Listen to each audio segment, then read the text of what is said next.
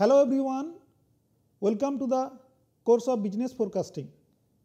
Today we will discuss the basic concepts of data driven decision making or say steps of data driven decision making and essentials of predictive analytics. When you enter into the course of business forecasting, you need some sort of basic understanding of data analysis or the requirement of predictive analytics. So, today we will focus these concepts or the requirements or the say ingredients of data driven decision making, basically the steps of data driven decision making and what are the important aspects that you need to know to start with the predictive analytics modeling or say business forecasting techniques. So, first question would be what is data driven decision making? It is nothing but it is a steps or you can say the methodology where you know you emphasize the use of data in terms of informed decision making by leveraging the sources of data or you know extracting the data insights. What you do you study the data behavior the pattern and you make a better decision in terms of understanding the consumer behavior or the consumer requirement satisfaction competitive advantage operational efficiency as well as the market trend. So it effectively through data driven decision making you actually understand the past behavior of the data the historical behavior of the data and you analyze that through different techniques of data, data analytics or say you know through a steps different type of you know modeling approach of data driven decision making or data analytics and you make a forecast for the future accuracy of the data what has happened in the past and through this DDDM or you can say the predictive analytics or the business analytics steps how you can make a forecast for the future that is all put together I have given a coin called data driven decision making under the context of predictive analytics or you can say under the context of business analytics. Definitely we, we can talk about business analytics because predictive analytics or business forecasting is one of the pillar of business analytics. So definitely if you see the right hand side benefits if you look at the benefits here I mentioned what are the benefits of data driven decision making or you know essentials of predictive analytics effectively you shift from opinion and intuition based opinion or decision making to a data driven decision making. Major aspects here all will be your past data based on the behavior of the data you can make forecast. You might have a question sir what is going to happen that we are totally rely on the past data, but in future if something happens some contextual event occurs or event happens then how data will take care of that. We have a session for that also specific allotted session, human judgment, the contextual event through experts opinion, field experts opinion, how the integration of the past data behavior and the future aspect, the prediction can be integrated together and you can make a forecast for that also. We will discuss that on that particular session, but today overall majorly in the entire session of business forecasting or the entire module of modules of business forecasting will be concentrated majorly past data behavior, their pattern, understand the data pattern which will provide the insights to the managers through identifying the trend, seasonality and different type of you know random behavior etc and make the forecast for the future accuracy or the business models, operational efficiency, market trend, consumer taste behavior and the competitive advantage. Look at here, drive business decisions with better confidence. You will get to know through data, I will show you through different case illustration, we will get to know how through data analytics also through data driven decision making, you can really take a informed decision and make a, bring a better confidence in your decision making or in a business strategy which will not only give you the competitive advantage also it will improve the customer experience. Starting from the you know morning when you start taking the tea or breakfast from there itself you know whatever in Unilever you starts with the you know Nestle or you know whatever product Tata tea you starts from that morning company actually starts understanding the consumer behavior consumer need consumer requirement for that they need data since company has the data or in case they collect the data or you know extract the data or consumer taste, consumer behavior, requirement etc. Probably if they do the analysis or you know to some extent data analytics techniques and tools they apply on that particular data, probably they can get a, get a better customer experience as well as the competitive advantage also. Even imagine whatever I talked about the FMCG products say Hindustan Unilever.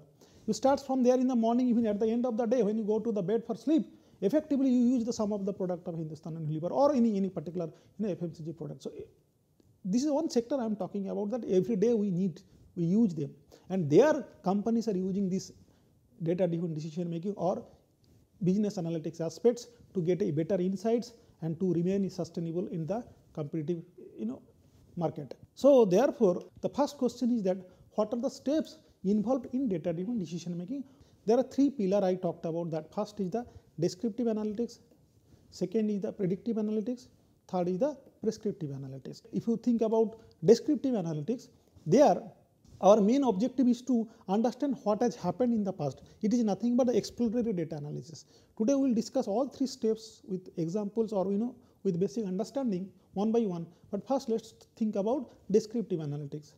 These three put together descriptive, predictive and prescriptive you can classify more in a diagnostic analytics, analytics also. But overall generally people divide the entire data analytics steps or the analytics like you know business analytics process into three three dimension. One is the or you know three pillar.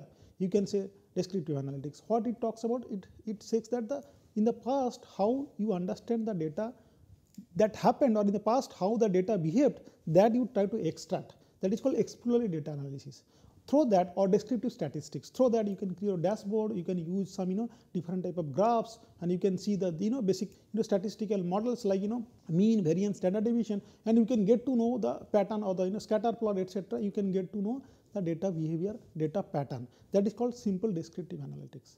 And then you go to the next level. Once you know the data pattern behavior then you make the forecast the prediction. That is called the predictive analytics. Based on the data behavior past you try to make what is going to happen, what could happen. So, that is nothing but the predictive analytics and there we will use different models techniques of business forecasting. In our particular course of business forecasting, we will be majorly focusing on the predictive modeling or predictive analytics. There are another components that is called another module that is called prescriptive analytics. What prescriptive analytics does? It actually focus that the strategy of the decision based on the descriptive statistics or descriptive analytics and the predictive analytics, predictive modeling or the forecasting plan. Once you have both in your hand then you take a decision that what could what prescription you should provide to the organization or to the company so that you can make a better strategy and the competitive advantage. That we call it as a what should we do? That means what strategy, what decision making should come in your hand. There are methods like optimization techniques, I will discuss details today, optimization techniques, simulation modeling, multi-criteria decision making and different type of you know game theoretical approach or the you know utility theory or you can say risk analytics models. Through that you can take really some prescription to the, to the data that you have analyzed based on your description of the data, the pattern of the data and the prediction model that you have come up through that you can really take a recourse action or the strategical decision making that falls all this process falls under the umbrella of prescriptive analytics. We will focus through these courses definitely we will integrate this you know in our discussions process everywhere will which will integrate the concept of descriptive analytics as much as possible as well as the prescriptive analytics also. But our main concerns main main understanding will be predictive analytics or you can say the forecasting in the context of business models, industrial problems or basic case studies related to the management. So, with these three aspects in our mind like you know you can think about you can relate these three aspects with sustainability also. Generally sustainable management sustainability practices are, are covered under three aspects. One is the you know economic sustainability and then environmental sustainability and social sustainability. But these three are linked but not one after another. But here when it comes to the analytics or business analytics or say you know to some extent data analytics three these three aspects or three pillar. One is the descriptive analytics second is the predictive analytics and third is the prescriptive analytics comes one after another or you can say they are very highly correlated. One until you com complete the understanding the descriptive analytics you can't start entering into the predictive analytics modeling and then you cannot make the prescription of the data or come up with a strategy. So, all three are interlinked, but to some extent it is a sequential. Once you know better of descriptive analytics, you can make informed prediction models or you can come up with a better prediction models with better accuracy. Once you come up with a better prediction, you can or the you know better forecasting, you can think about how much production you should do, what could be the you know distribution strategy, what could be your you know marketing plan that will come under prescriptive analytics. So, these three are the aspects of data types or data analytics or you can say the business analytics processes. Then this, this part that I have mentioned in the left hand side effectively can be classified into 5 6 steps of data driven decision making which we are going to understand through examples of cases say or through different steps of the data driven decision making process. What is the first step? First step is that understand the case, understand the business problem. I will give examples you will get to know and then once you understand the case, the business problem that company has given to you or you are going to address that issue as a part of consulting or as, in, as a part of you know R&D team or you know data scientist team, what do you need to do? You need to understand the business case effectively. The better you know the business problem or understand, go inside of the deep of the problem, better you can extract the data and better you can make the model and better you can make the forecast. So next all steps will be a subsequent steps that the next step is nothing but once you understand the case, the business problem, the context of the problem, next step is that data collection and the data pre-processing. How we have collected the data, what are the sources of data, how reliable the data are, how authentic the data are, whether the ethical practices are being maintained or not. Once you know all these things, data collection process, I'll discuss that, you will get to know like different steps of data collection or the process of data collection, type of data, the primary, secondary. Once you know that and clean the data and make the pre-processing, all these things, you know, remove the outliers, these second steps are done now. So, data collection and pre-processing are done now. Now, you have to some extent you know your clean data you have you understand the data behavior maybe descriptive analytics you might have used to some extent over here or the statistical you know basic you know data modeling part or you can say the you know exploratory data analysis part you might have done little bit over here. You can use the SQLs and different sources of data I will discuss that. And then once you complete the data collection the pre-processing part clean data with your in your hand or you understand the data, you know, pattern, the behavior of these things, then you think about which prediction model, which predictive model or the prescription model, predictive, prescriptive analytics models you need to call.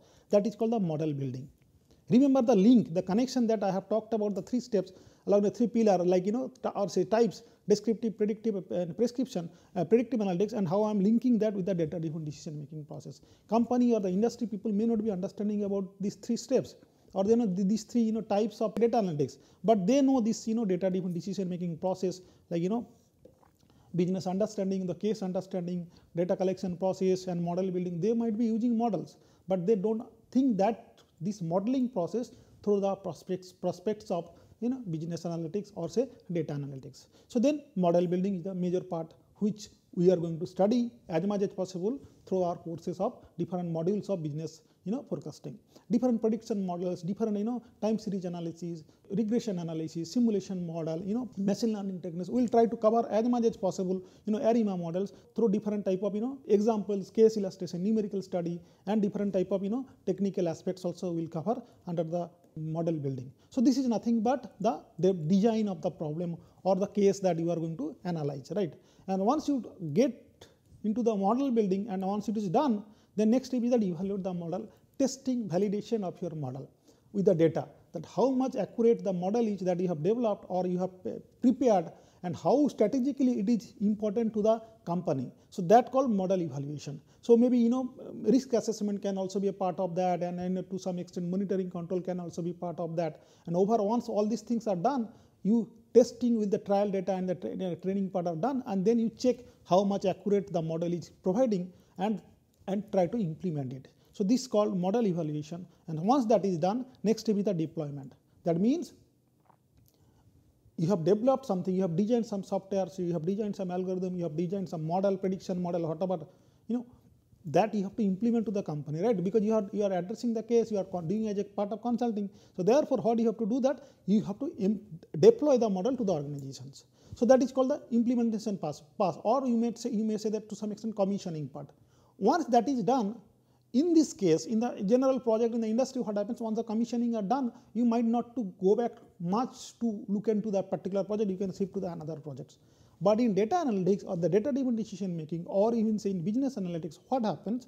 You have to monitor the process also over a period of time. That means maintenance part is also very important because every day data are being generated based on the past data or say 3 years data, 4 years data, whatever the you know, model you have developed based on the behavior of the data, requirement of the company strategy and the technology available with you, you can make, you can develop and you can implement and you can make the commissioning of the project, right, or the you know model that you have provided to the company. But after 2 years, you, your data might become obsolete, past data. You might have got new data which can give the new trend, new pattern, new requirement as per the competition is concerned. So, in that case you have to redesign your structure, you have to upgrade your model with a new technology, new AI process, new machine learning techniques, you based on the more available data. So, you need to upgrade your model that is called to some extent in these particular steps of DDM or DM or data driven decision making it is called model maintenance. Otherwise what happens you know like you can take the examples of Nokia say you know so earlier it was very popular but now they are not been adapted with the you know new technology, new demand, new customer taste etc. they become you know obsolete in the market. Now they are not that popular.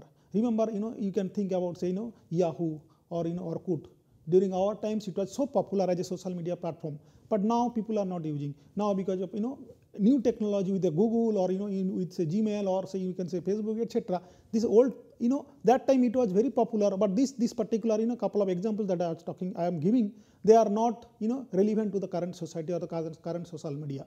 Now the new technology new developed new softwares has come which you know customers are experiencing with a better taste and better enjoyment. So therefore they are available in the market. Who knows that you know tomorrow some new new new technology will come and that particular Facebook also might become obsolete. So therefore, what happens you know you need to focus about the model maintenance like you know upgradation of the data as the technology you have to, to put together so that you know even if new technology like ChatGPT comes also into the market you remain sustainable your business models remain sustainable and you can remain competitive in the market also. So this all you know model maintenance starting from the business understanding data collection pre-processing model building model evaluation model deployment and maintenance are the you know six steps of data driven decision making. Look at the, the summary of the discussion that I have so far made under the business understanding process, understand the market trend and dynamics. Take any case, any examples, in whichever domain you are working not a matter. You think about say insurance industry, suppose, suppose you think about you know say supply chain industry, you think about say in a chemical industry, anything, suppose or the financial industry, you think about say insurance industry understand the market trend and dynamics, who are the involved over there, you know, or the, the, the competition involved over there, or the market trend in the insurance industry, or in a mutual fund industry, whatever you can, you can think about that. Then, you know, consumer behavior, knowledge and the preferences, that you have to understand. Look at, as the business understanding increases in your mind also, or in your, in your experience also, effectively you will be able to make better forecast to meet the customer need and the competitive advantage. Then awareness, of industry specific factors, what are the factors involved particular industry that also you need to know. So therefore, understanding the business case is very crucial before you make the data driven decision making. Without knowing that simple understanding a model and you know implementing it with the data may not be the best suitable decision making or the best strategy of decision making. Perhaps you need to understand the context in a better manner. Then familiarity with the historical sales data pattern, data and the patterns of the data. So this is called you know data behavior analysis etc. And then once you know this all these parts, then you understand the the external factors also. This is very crucial. You can imagine the point that this this you know these particular aspects in your decision making. If what what external like you know today suppose you know for example say some some European um, countries are fighting each other or say you know Middle East countries are fighting each other that will have a big impact in our crude oil price or you know in our say you know energy resources. So therefore, if you are working on a project of energy or if you are working in a project of say you know to some extent addressing say mutual fund or say you know insurance industry where in your say NBFC sector you have to think about what RBI is taking decisions. You don't have any control on that. What RBI will take that decision. What Middle East is fighting each other among each other. You don't have any control on that. Crude oil price may go up, go down, but you have to think about that external factor also in taking decision through this particular data modeling process. Then awareness of potential risks which I mentioned already. And then you know last part insights into the competitive landscape and the market positioning. Where you want to position your product, where you want to position your you know particular company profile. So that is also that is the objective, right? That is the goal. You have to be competitive in the market and you have to position your product with uh, the best quality at the best requirement and the customer requirement, right? So therefore, these steps are very important as far as business understanding concerned or the data driven decision making is data driven decision making process is concerned. Now, let's come to the essentials of business analytics. Very crucial part. Remember, I have discussed only the first step. That means that means if you come back to this particular you know slides here, I have discussed only the business understanding part. So far, we have discussed majorly this part. Now, we will be focusing the name, remaining steps one by one. But before we focus on the remaining steps, let us understand what are the essential ingredients or essential techniques or the process that you know as a part of descriptive analytics, predictive analytics and the prescriptive analytics. Let us go to that particular slides, you will get to know. Look at here. I have now categorized three definition, three, th three term, descriptive analytics, predictive and the prescriptive. Look at the data types, data types, data collection process or the data that you have in your hand, whether it is a primary data or it is secondary data. That you need to understand, I will discuss that in the forthcoming slide.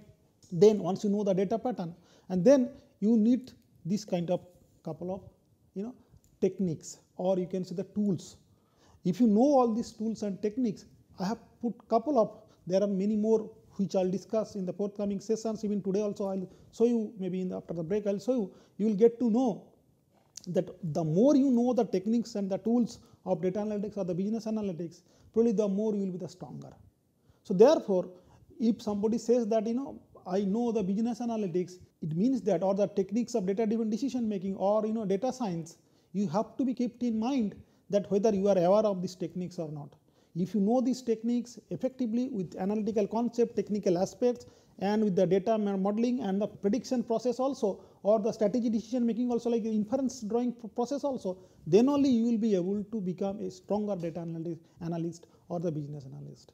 So therefore, these are not only a limited topic of data science or you know say business analytics, there are many more, but here I have listed couple of important techniques that you need to know that is called data collection and pre-processing of uh, the steps of that and the exploratory data analysis which may fall under business you know descriptive analytics or the statistical you know uh, data modeling part.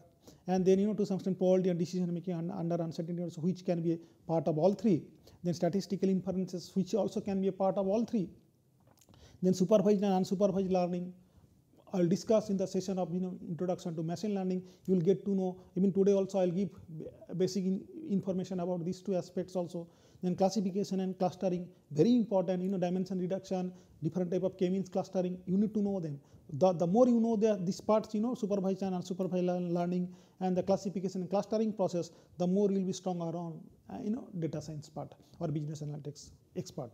Then regression analysis is a part of predictive modeling which we will be discussing through our you know all these courses or the modules and the various types of time series modeling whether it's you know moving moving average methods whether it's say you know different exponential smoothing models seasonality we'll discuss about ARIMA models different type of all type of time series forecasting we will be covering through this particular course of business forecasting or essentials of predictive modeling or predictive analytics. Then different type of machine learning techniques also which machine learning is all put together can be put, put under the umbrella of machine learning but I have given a different term that machine learning and the AI process the, the most important trend today in the data science domain. And then text analysis when you have a say Twitter data or different type of you know qualitative data or the experts conversation etc or people are writing in the different text so that how can you extract that? And you can make informed decision by you know doing some you know, sentiment analysis. That can be uh, important ingredients for data science or you know part of data analytics. And then you know decision analysis very crucial part where you know all these last four parts are majorly you know, including the statistical inference are nothing but the prescriptive analytics. These falls effectively you know this falls here like these last four five points including statistical inference like decision analysis say Bayesian analysis or say decision tree random all these things comes under you know prescriptive analytics. Optimization techniques um, linear optimization non-linear optimization mixed integer programming dynamic programming which is look at dynamic I talked about I am talking about dynamic programming. It looks very you know basic concept of the mathematical optimization models but it is one of the important techniques of you know AI process some different search algorithms, say particle swarm optimization, or say you know to some extent say ant colony optimization, genetic algorithm, which are all important ingredients for you know recommendation system of AI process.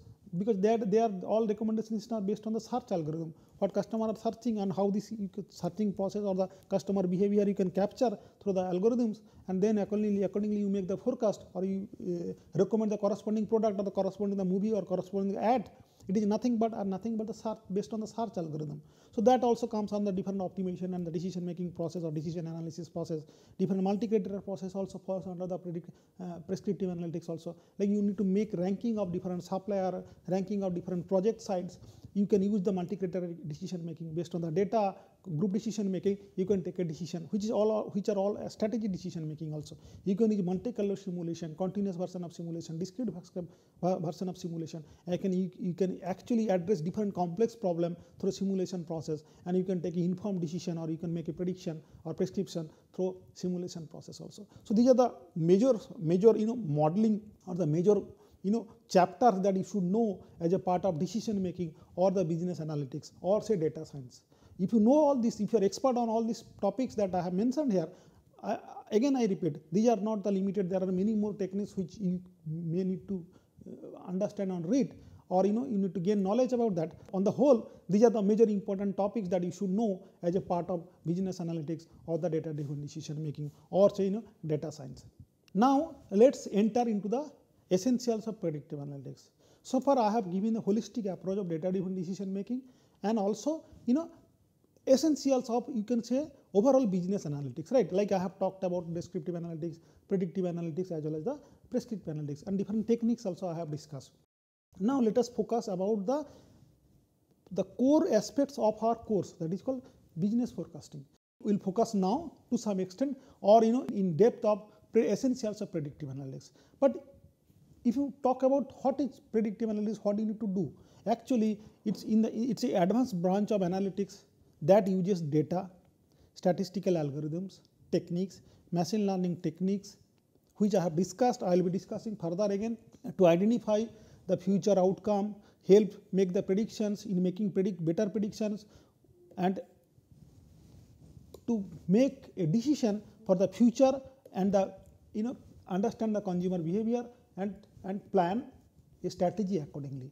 So, therefore, predictive analytics are nothing but a decision making through data through which you understand the past behavior of the data and analyze the pattern of the data and make a forecast for the future of that particular event that you need to take a decision or need to take a strategy and meet the customer's expectation in a better manner. Now, couple of you know you know you can see couple of dimension or you can say couple of applied area that I have mentioned here where you can really use predictive analytics. First look at the informed decision making. Here it provides the organizations with insights that enables informed decision and the data driven decision making by, by which you can help in staying competitive as well as adapt to change conditions. Or the overall you know informed decision making it helps to take an informed decision making.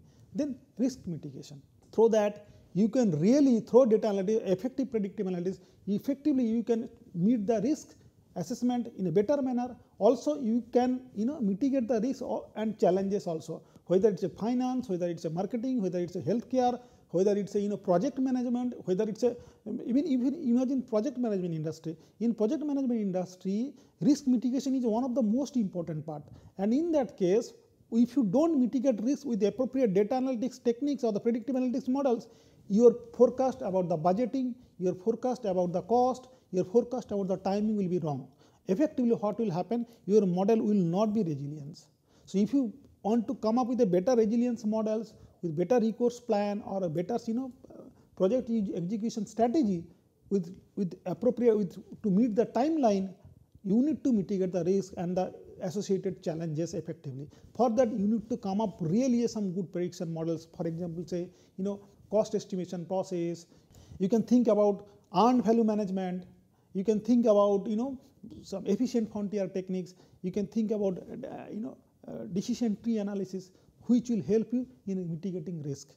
Then resource optimization it is also very important because you know you have to you optimize your resources effectively and allocate the resource in an effective manner right so it helps actually optimize resource allocation by providing accurate forecast of the demand enabling business to manage inventory, production and workforce effectively. So, the effect effectively when it comes to the optimization process that is prescriptive modeling, but you need to think about effective forecast right. If you do have effective forecast of your demand uh, like you know to some extent inventory management planning, the safety stock planning probably you will be able to do better about your you know uh, procurement planning, you can do better your production planning and the managing of the workforce also. So, it is effectively you are doing optimization or resource optimization, but based on your prediction right based on your demand planning etc.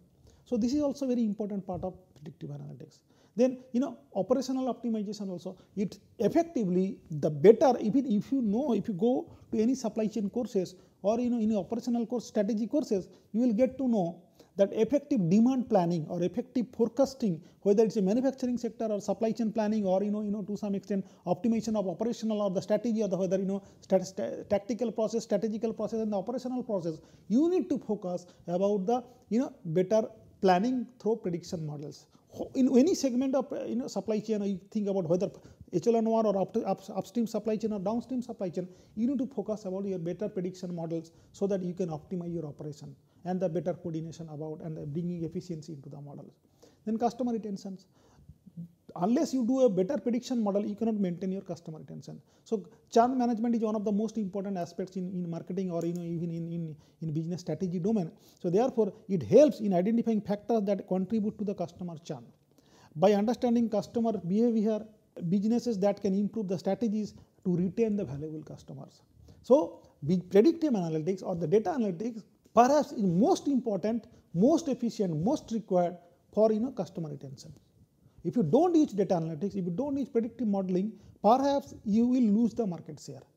So most of the companies, whether it's in Amazon or whether it's you know our Indian companies also, you know everybody is utilizing this data analytics in their decision making, so that even what customers is going to make, give the order in the next week, you know Amazon is doing some AI process and the data analytics techniques so that they can understand that this type of products customer is going to give repeated order in the forth, in the forthcoming week. So let us prepare or store this particular product for this particular customer.